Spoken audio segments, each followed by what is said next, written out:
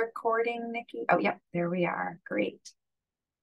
Excellent. Um, well, first off, I want to welcome everybody to the Evergreen New Features and Benefits and Project Timeline webinar. For those of you who I haven't been able to meet yet, uh, my name is Lesley Miska, and I joined OADS in February of 2016 as the Information Services Manager. My primary role within OADS is the oversight and management of our electronic data systems, which includes both EIS and futuristically the Evergreen data system. Joining me on today's presentation is um, Nancy Kitchen, who is one of the OADS data uh, and compliance specialists and the and an Evergreen project participant. And I believe uh, Walter Goodlet will also be joining if he's not here already. Yep, I see him here. Um, and Walter is um, the Evergreen Project Organizational Change Management and Communication Subject Matter Expert. So uh, Walter just joined us in July and is helping us with uh, this webinar series and preparations for this webinar series, as well as other communications that will be coming out uh, related to the project. Next slide, please, Nikki. Uh, over the over the next hour, uh, what I plan to share is a little bit of project background, a few new features of the Evergreen person record. Um, so this series will be focused on the person record. We do have some future webinar series focused on other areas of the system. Um, a high level project roadmap, including our release three deploy date and your training dates. Some next steps and some details for staying engaged and getting the support that you need as we uh, continue forward with this transition. And then we'll wrap up with uh, some Q&A. We should have at least 15 minutes or so for questions and answers. So throughout the presentation, please uh, feel free to use the Q&A icon in the Zoom meeting and type out your questions as we go. And then when we get to the Q&A portion, I'll answer as many questions as I can um, live in the time that we have remaining but all questions that do get entered into the chat will be responded to. If even if I can't get to them, we will uh, provide answers to those and we'll send the, we'll post all of the questions and answers on our project website for you to be able to access um, after this meeting. And we'll also be sending out a, an emailed communication that will uh, include the links to the project website and all, all of the recorded meetings as well. So you have been added to the meeting in listener mode, therefore your line is muted. Um, so we do ask that all the questions come in through the Q&A and um, and like I said, we'll we'll do our best to get to all of them live on the call today. Next slide, please, Nikki.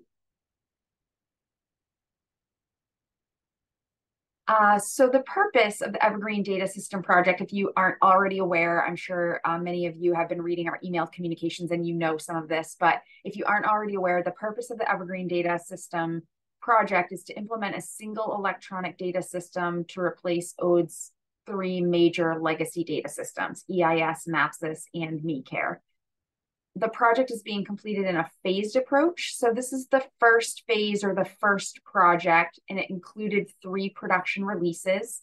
Our first release was in May of 2019. It was a very small sort of pilot release.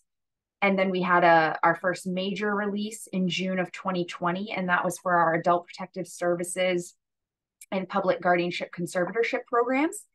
And then our third release for this first project is upcoming, and that is the developmental disabilities and neurobehavioral programs release, and that is planned for January of 2023. The primary goal is to enhance the quality of services for our constituents. And some of the benefits of doing that um, include automating some of our current paper or manual processes, reducing redundant data entry for our system users, streamlining some workflows and processes that maybe are a little bit clunky currently, and improving our data and reporting. Next slide, please, Nikki.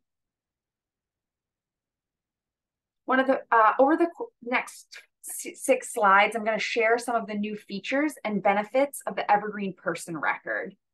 Please note, though, that I'm not going to be explaining everything that you see in these screenshots. Um, I'm going to be providing a high-level overview of some of the particular features.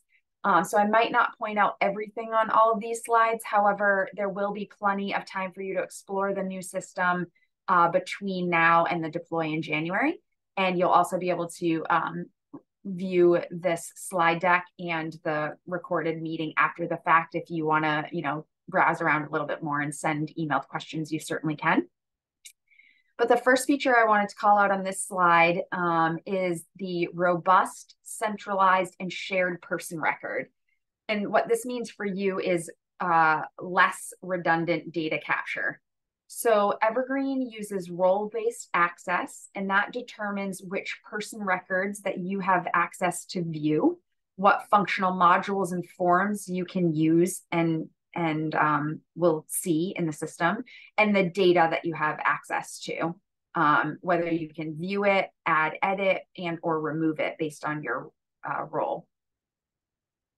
Uh, throughout the system, uh, the white bar at the top of the screen, at the top of the screenshot that has the little tree icon and then it says evergreen, that white bar is uh, called the persistent navigation. And that will remain constant while you're logged into the system. You will always see that bar and you'll always, always have access to the icons and features that your role sees on that bar. Not every role will see everything that's there, um, but you will always see the same set of icons for your role, no matter what page you're on in the system.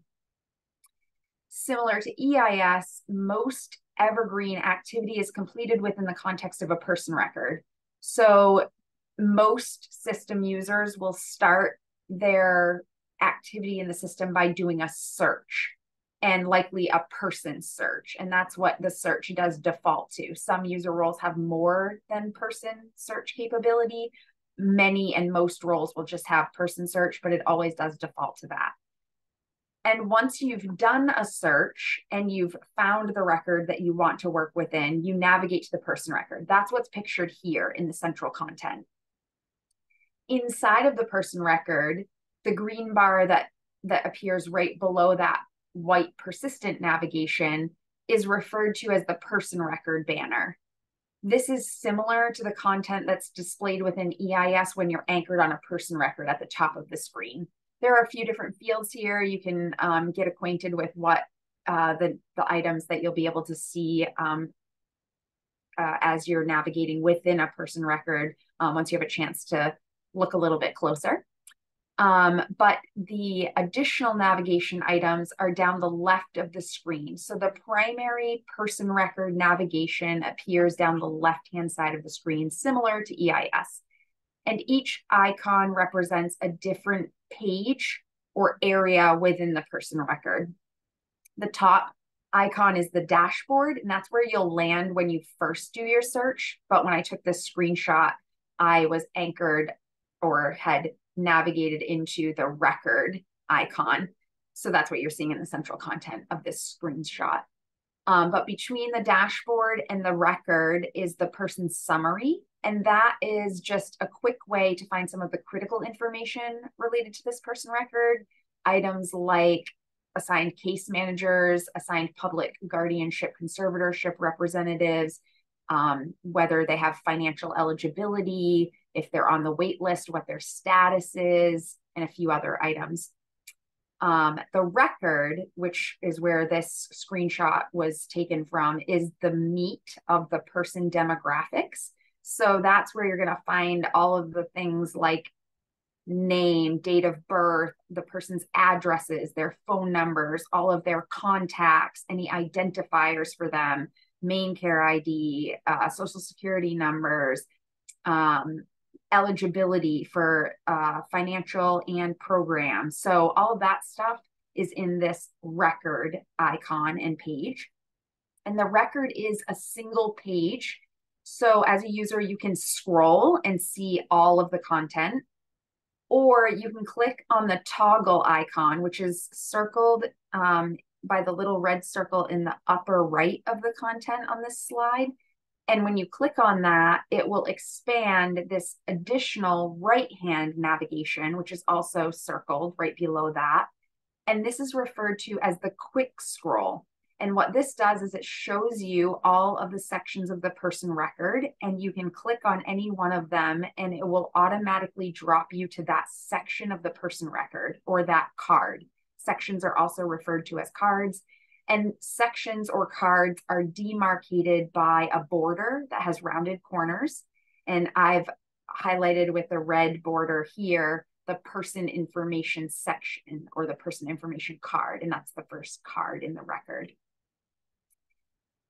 Uh, users also have the ability to collapse sections or expand sections. When you come in, they're all expanded. It's defaulted to having them all expanded like this screenshot, but you can use the little caret icon or the V, the little V looking icon that's to the left of personal information, and that would collapse this section. And you can collapse and expand them by clicking and clicking again. And you can do that for each section if your role allows you to, if you have the ability to create records, then you would also see at the bottom of each um, section a green button that will have plus add and then whatever the name of that section is. And then you'd be able to click on that. It would pop up a modal and it would allow you to add a record to that section of the person's um, file or record if your role allows you to edit and or remove any records or items then when you hover over a particular section you would see a trash can icon for remove and a pencil icon for edit. And if you click on that section it will pop up the modal for edit if you have the edit ability or if you click on the trash can it will pop up a modal and ask you if you're sure you want to delete that section or that record. Next slide please nikki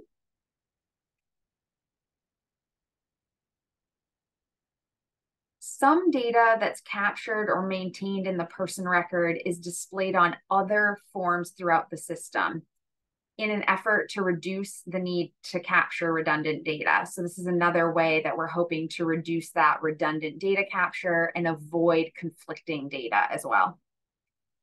Some examples of this are the health information and history data sections. So this um, slide, I have when I took the screenshot, I was um, in the health information section. And the health information um, data also has, when you click on it, a sub navigation. So that's the white menu that you see just to the right of your primary navigation, the green navigation on the left. Um, this health information section has sub navigation items of allergies, devices and modifications, treatments, end of life orders, diagnoses, medications, and health insurance. And so, in order to see the content for one of those sub navigations, you would click on whichever sub item you are interested in. This screenshot was taken while I was on allergies. So, the all of these pages are what are referred to as list pages and list pages um, appear like an excel spreadsheet or a table format and so you can uh, each record will have its own row and you can sort the data using the column headers so you can click um, uh, once to have it sort ascending, descending, and then again to have it um, do the reverse. And um, some of these, uh, some list pages have additional data that's available under the ellipses, which is the three dots to the right of the row. And those might be things like descriptions. Um, and also list pages throughout the system always have a search so that you can sort uh, narrow your results by the keywords that you're searching on and that will always appear above the table to the right and if your role allows you to create new records, you'll see a button, which I've circled in red to the upper left of the table, and it will say plus new, whatever that list page is. So in this case, it says allergy. And you'd click on that and it would pop up a modal and allow you to add the record. And then once you save it, you'd see that record added to the um, rows in the table. And most list pages are sorted with the newest or most recently modified records at the top. And then again, you can uh, use your um, column headers to resort that if you choose to. Some um, health information data will auto-populate from linked MIHMS records. Some examples of this are A number, social security number, date of birth, when the person record is originally created or linked. And then ongoing items like diagnoses, medications, and medical professional contacts will automatically be populated in the record from the claims that are made in MIHMS and that update each night um, to the Evergreen system. Um, the history section is also um, a new section and it's uh, I've circled it in red just below the health information on the uh, green navigation. This history section is another way that we're trying to reduce um, redundant data capture. And it's structured to follow the eight top level charting the life course domains. And these domains align with the new comprehensive DD, developmental disabilities comprehensive assessment form, and the PCP form in Evergreen. Um, and the records that are captured here will be displayed within the comprehensive assessment, the developmental disabilities comprehensive assessment under each of the top level domains in that form. So history records get captured here at the person um, record. And then when a comprehensive assessment form gets created, it will display the history items that have been captured for this person record so that you don't have to go back and forth between that form and the person record and you can see those items to help inform the answers that you're uh, the, the content that you're putting in that form. Other examples of data that displays on forms include things like dates of birth, contacts, uh, especially if there's a private guardianship or conservatorship representative or a natural supporter, um, the assigned case manager or care coordinator, an assigned public guardianship conservatorship representative, and there are other other examples of that as well, but those are some of the common ones that will automatically display when you create a form for the person so that you don't have to recapture that data and it's coming directly from the person record. Next slide, please, Nikki. Data capture has also been standardized as much as possible within Evergreen, and this is to help us improve our data and reporting. So fields that are required to create or save a record so that it's in an in progress state and you can complete the form are indicated by a red asterisk next to the field name. So I've circled the field name of type here, and there's a little red asterisk next to that. That indicates that this field needs to be populated in order to save this modal and create this record. If a field is also required to complete or submit a form, it will also have the yellow bar to the left of the field itself. So type in this instance is both required to save and required to submit. And that yellow vertical bar um, will uh, may appear in some instances um, where there's not a little red asterisk or vice versa. Uh, many fields will also contain predefined vocab or pick lists, drop-down lists, and that's signified by the little V or caret icon that's to the right of that field. So also this type field has a little caret indicator, which means that there's a vocab list. These lists um, are they work like a predictive search. Some some are longer than others depending on the field itself. Um, so if it's a very long list, you can actually start typing the value that you're looking for into the field and it will start narrowing the results that you're seeing by the characters that you've populated into the field. Um, there's typically for most of these fields, there's also a selection of other in some instances, there are cases where we don't want other values provided on particular forms, but a lot of the pick lists will have an option for other as well in case the value that you're looking for doesn't exist, you can select other. And in an instance where you select other, you'd get a text field so that you can populate the value of what that other item is. Other uh, standardizations are date fields. So I've circled the little date icon in the effective date range start date field here. So date fields will have this little icon in them. You can click on it. It will pop up a little calendar, which is a date picker feature, and you can pick your date from the calendar. Or you can just key the date directly into the field as long as it's in the appropriate format, you'll be able to save the record.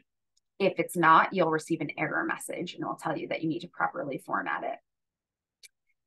All fields include some level of field validation to ensure proper formatting, such as um, whether the field only off, uh, allows uh, alpha characters, numeric characters, special characters. Um, text fields also have character limits. Uh, most large note comment description fields have a 10,000 character limit. Um, and there's a little counter under that. So it will tell you as you're getting close to your limit um, and when you've exceeded your limit, and it will just give you a, a, message and tell you that you can't save the record until you shorten that um, to be within the limit of that field. Next slide, please, Nikki. Evergreen also supports the upload of scanned images and documents to be stored within the person record or in some instances directly within another form. So examples of that are our D DD intake and eligibility assessment. You can upload attachments directly to that form. The BI level of care assessment, you can upload attachments to that. We have some uh, forms that are called referred to as packets, application packets, classification packets. Attachments can be made directly against those, as well as the person-centered plan. And there are a handful of others that I'm uh, don't have listed here. But um, so you can, if the form allows, you can upload the attachment directly to the form. Or if not, you can upload it to the person record if it makes sense for it to be at the person record level. And you do that by simply clicking in the file field and searching for the field, the, the um, file, either image or file that you'd like to upload and selecting that from your device. And then you'll see that file name appear in the file field. And then you choose the category that you'd like the file saved under, provide a short description of the file, and then just click save. And then um, once you do that, it will show you that document in the list page in a new row in that table. And anybody who has access to that person record will be able to view the document or image that you have uploaded. Um, they can view it right within Evergreen within the browser, or they can download it and view it within the um, appropriate software. Like if it's a Word document, they can view it within Word. Um, but nobody can edit your upload besides you and my team. So if you want to change the description, you can do that, but no one else can do that. If you want to remove it, you can do that, but no one else can do that. Um, you do have control over the documents that you've uploaded to the system. Some data, when we go live um, in Evergreen, some data will already have been migrated to the person records. Um, there are certain forms that exist in EIS that do not, will not exist in Evergreen, such as the BMS 99, psychosocial V7. We've combined all of those forms into a single form called the comprehensive assessment in Evergreen. And the data was not going to migrate in a very useful way. So we're migrating the EIS records as uploaded attachments so that you have access to those and you don't have to go seek that data elsewhere.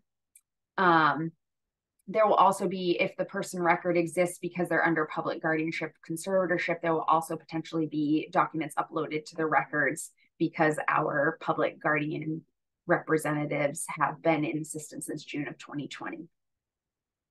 Next slide, please, Nikki. The Evergreen View Summary Shade is a new feature. It's located in the person banner, which is persistent within the person record. So after you've navigated into a person record and anytime you're within that person record, you'll have this banner and you'll have this icon for view summary. And this works like a shade. So whatever page or section within the person record you're in, when you click on this view summary, it will drop this shade down over the screen that you're on. And then if you want to remove it from the view, you simply click the view summary again and it will hide that shade. The intention here is again to sort of streamline your process um, so that you don't have to navigate away from a form that you're filling out to go find out what a person's diagnosis is or their medications are or an allergy or who their assigned case manager is or who their emergency contacts are. So it's a great way for streamlining some of your work because you don't have to move away from save and go back to a form that you're working on under that person record. This is a core product offering from our vendor, FEI. So we were not able to modify what data appears in here. So these are the data points that are available under View Summary. Diagnoses, medications, allergies, warnings, language needs, which comes from languages and communication under the person record, um, eligibilities, which includes financial and program from MIHMS, assigned staff. So that would be anybody who has an explicit relationship, like an assigned caseworker or an assigned public guardianship conservatorship, and any emergency contacts on the person's record. So please note that there is a, both a view summary and then there is the person summary icon, which is part of the left navigation of the person record. And there is some overlap with the data points there, but the person summary icon that's under the person record includes some additional critical data points that we felt were important for you to be able to navigate to quickly. So um, it has some things like living arrangements, waitlist status that you're not going to be able to get from this view summary shade. Next slide, please, Nikki. The final feature that I want to highlight on today's uh, webinar is called Notepad. It's similar to sticky notes if you have a smartphone or a tablet and you may have used uh, uh, software like that called sticky notes or something similar to that. It Notepad is available from your top level persistent system-wide navigation. So you would simply click on the little notepad icon that I've circled in red on that white bar at the top, and it will pop up this little modal that I've highlighted and circled in red here. And it allows you to add a note title, start typing the description of a note without having to navigate away from any page that you're on, whether you're within a person record or somewhere else in the system. Maybe you're in your notifications, maybe you're running a query or a report or something along those lines. You can just click that little notepad. It, it will allow you to take that note. So imagine you were running a report and you got a phone call uh, from a person that you are um, providing services to, and you want to start taking that information quickly, you can click that icon, start typing everything down.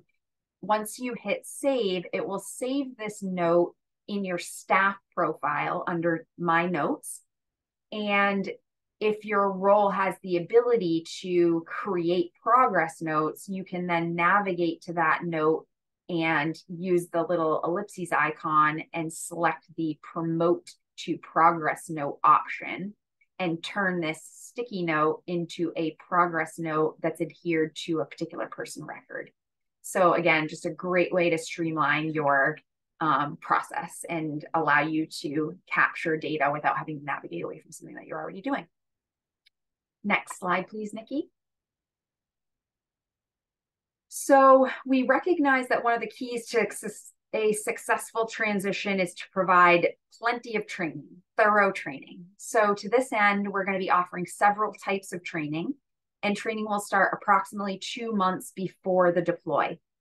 And that will be with a series of um, distributed micro learning videos. These are two to three minute videos that you will watch at your at a time that's convenient for you. It's self-guided learning and it will teach you how to do the most basic things within the system. So how to log in, how to do a search, how to upload an attachment, how to create a progress note. So some of the common functions, uh, basic navigation functions and we'll send those out, like I said, um, towards the end of November, around November 20th, and you'll be able to start watching those.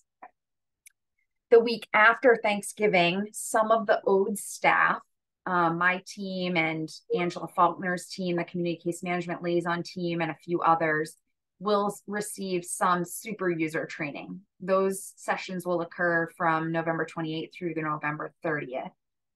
And then starting the first week of December, OADS will offer some webinar format business process specific training sessions.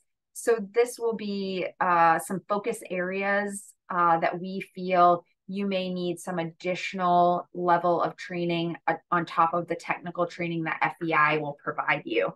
And so this will be topics like person-centered planning and service implementation planning process. Um, there may be a couple of others as well. Those training sessions will be offered between December 4th and December 12th. And then beginning in mid-December, uh, we will, FEI, our vendor, will offer role-based technical training webinar sessions. So some roles such as community case manager and BI care coordinator will be offered a series of topics um, over a few days, where other roles such as like crisis caseworker or resource coordinator might only be offered a single topic uh, that's specific to their functions within the system. All topics that are offered will have multiple dates, uh, offerings on multiple dates and at different times so that we give the most uh, opportunity for people to be able to participate. Um, all training will be virtual and it is optional. We are not requiring the training. However, we strongly encourage it. Um, all, but that said, all training sessions will be recorded and posted to our project website. So if you are unable to make it to the particular webinar training, you will be able to replay the training at a time that works for you and as many times as you want and those training sessions will remain available to you even after the deploy. So even when new staff come in and that kind of thing, you'll be able to let them watch these training videos. Um, and they will also ultimately live within the Evergreen system itself in the help center. So um, plenty of opportunity to rewatch the training sessions as well. And then once the training topics have been held, You'll also be provided with access to our training sandbox environment. This will allow you to log in, navigate around, familiarize yourself with the system before the deploy. And then after you've had a few weeks to do that, you know, through the month of December, um, mid December to the end of December and into early January, um, our vendor FEI will also offer a series of webinar style Q&A sessions. So this will be an opportunity for you um, to come to those meetings with any questions that you've gathered across the training after you've rewatched some of the videos after you've been navigating around in the sandbox we want you to collect your questions come to those sessions and we want to be able to answer those sessions for you before the deploy. So those will occur the week of january 9th through january 12th um, I do want to just highlight for everybody, as with any large electronic data system replacement project, there will be several obvious benefits of the new system, exciting new things. That said, no system um, and and no system replacement project is ever perfect. So there will be some issues that we will have to work around until we're able to make those fixes and or until we get to the future enhancements that we have planned for the system. So for this reason, we also, and to make the transition smoother, as smooth as possible, we also plan to offer post deploy troubleshooting support. That will begin immediately on our go live date of January 16th. And uh, we're still working out all the details for that post-deploy troubleshooting support. We don't know uh, how frequently it will be offered, uh, how long it will be offered, but we certainly will share more details about that as we get closer. Next slide, please, Nikki. This slide shows the remaining high-level project activities that the team will be completing between now and our deploy. So the project team, along with some of our internal business um, staff system users, are already working on the first three activities that are uh, listed in the table. These are all various types of testing and validation of data. And um, along with those is the remediation of any issues that we're tracking. So our vendor FEI is fixing issues as we're tracking those. The first two items are related specifically to testing the functionality and the role-based access, where the third item is specifically related to validating the data that's migrating. Once the functional testing has been wrapped up, the team will begin activities for certifying the system's security and um, with the state of Maine, and that the system has achieved its intended outcomes um, with the Centers for Medicare and Medicaid Services. So that's what you see listed as system certification activities. At which time we will also hold our various training sessions. Um, those overlap, those tasks overlap. Um, and we'll complete our dry run or test of the deploy. So the, the project team will be testing the deploy before we actually conduct the deploy and those will lead up to our deployment weekend, which is uh, what you see in the final row of this table. The deployment itself will take a minimum of three days. So we're currently planning to begin that at 5 p.m. on Friday, January 12th, 2024. And we'll complete that deploy uh, sometime before 8 a.m. on Tuesday, January 16th, 2024. During that three day window, E both EIS and Evergreen will be set into a read-only mode. This is so that data cannot be modified in either of those systems while we are migrating it. At 8 a.m. on January 16th, Evergreen will be turned on for user access and EIS will remain available in a read-only state. So your credentials will still allow you to log in and you can view data over there. You just won't be able to add any data or modify any data. And that will be available to you for a minimum of six months, but likely all the way through the calendar year 2024. And we'll certainly um, solidify that uh, end date with you as we get closer and we make some of those final decisions. Next slide, please, Nikki. So you might be wondering what's next? Well, for starters, if you haven't already registered for our other two informational webinars that are being offered in the month of November, we certainly encourage you to do so. We'll be sharing information um, about the reportable events form and the progress note uh, form and the enhancements uh, to those two forms at our November 1st through November 3rd series. And then we'll be providing a sneak peek at the streamlined person centered planning and prior authorization process in the November 13th to 15th series. You can find the links to register for those if you haven't already in the emailed communication that was sent out on September 25th, or you can go to our project website um, and grab those as well. And the project website is on one of the slides um, later in this presentation, but it's um, maine.gov slash DHHS slash EIS slash Evergreen. And uh, we also intend to follow up with these series with just a, a quick emailed follow up reminder directing people to that um, website as well. We also plan to uh, do some additional communications with you in the months of December and January after the webinar series is over, but while you're receiving training, some reminders about training and the upcoming deployment, so please continue to read our email communications.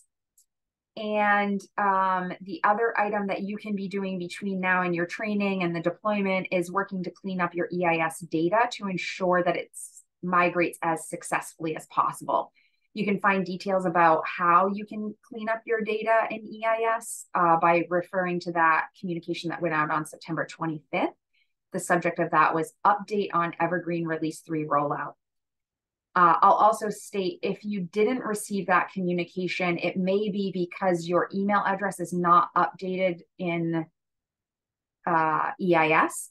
So if that's the case, please reach out to our EIS support team and get your email address updated in EIS so that you are receiving our email communications.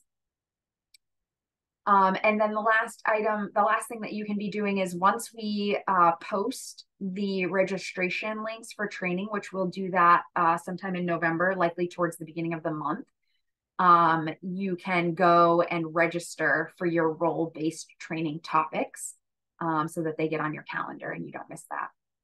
Next slide, please, Nikki. So here's how you can get uh, stay engaged and get some support through the transition. So uh, the first thing that we are very excited to announce is the creation of a network of volunteers called Change Champions. These are volunteers, uh, some of your peers, who will help us with the transition to Evergreen. You can find out more about them by going to our project website and their role and who they are by going to our project website, um, which is listed at the bottom of this slide here. Um, all, all project communications are also sent via email. So please make sure that your email address is up to date, as I mentioned previously. And if it's not, you can send those emails uh, to get that updated to eissupport.dhhs at maine.gov. And lastly, if you have any questions or any feedback at all, you can always email us, the project team, at evergreen.dhhs at maine.gov.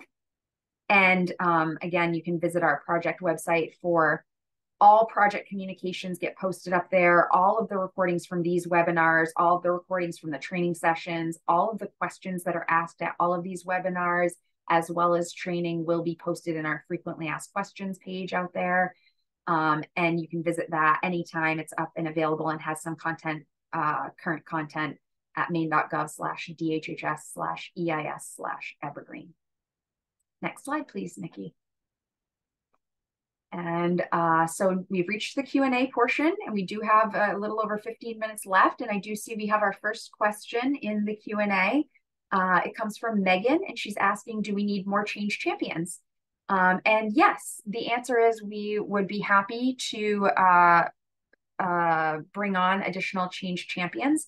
If you are interested in being a change champion, once you learn a little bit more about what the role is, you can certainly reach out uh, to Walter Goodlett, and his email address is walter.goodlett at maine.gov. We'll put that um, email address in the chat for you. They Two can T's. see the chat, right, Nikki? Two T's. Two T's, yeah. I think they can see that.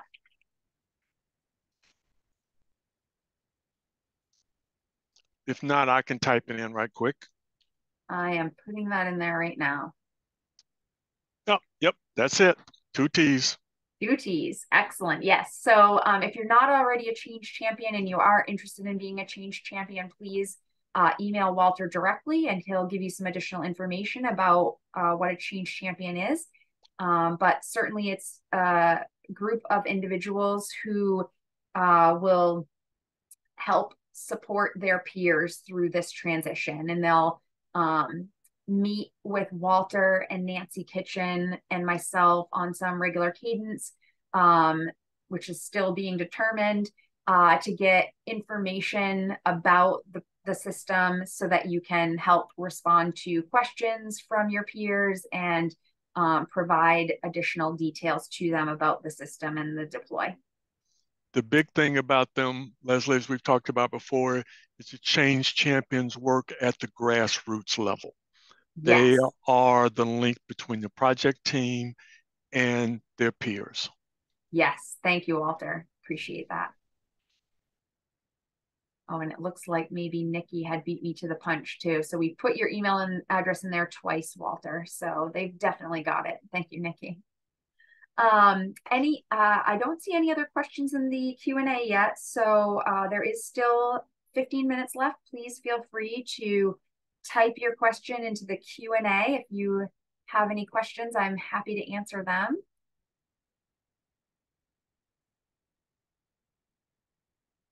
Looks like Nikki also put our project website uh, link into the chat. Thank you, Nikki. You are so on top of it. We really appreciate your help.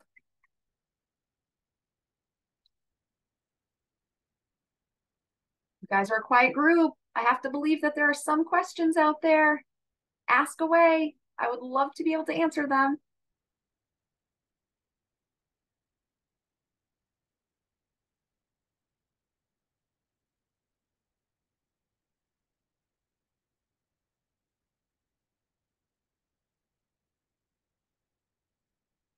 Well, I don't see any more questions coming in, so I certainly want to be respectful of everyone's time.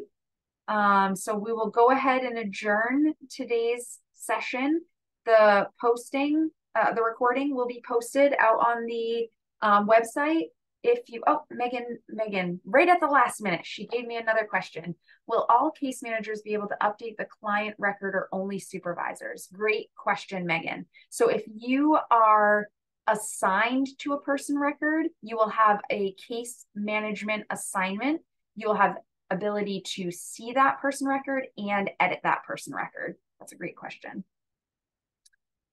Um, but also, if anybody else has any other questions, uh, oh, great, Cheryl has a question. EIS has critical information feature that identifies emergency level for, for, people. Where will Evergreen house this? This is a fabulous question, Cheryl. Um, so the critical information is going to be found in the person record under that person summary icon that I was referring to. That's one of the pieces of critical information that was not part of the summary shade, but that we wanted you to have at your fingertips. So you'll find that when you navigate into the person record and you click on the person summary icon. It's the second icon down. Are there any other questions?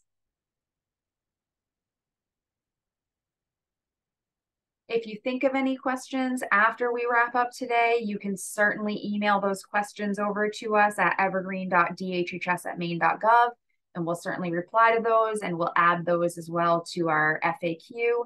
Um, and we'll be populating all of the questions and answers from all of the sessions into our FAQ on our on our project webpage. So there may have been questions at another session that maybe you didn't think of. So please feel free to visit our project website, read all the FAQs that are out there, continue to read them. After each of these series, we'll update it with all the questions that come in from all the different sessions. And with that, I don't see any more questions in the Q&A, so I will adjourn us for today. Everybody have a fantastic evening. We really thank you for joining us today and definitely get signed up for our November series.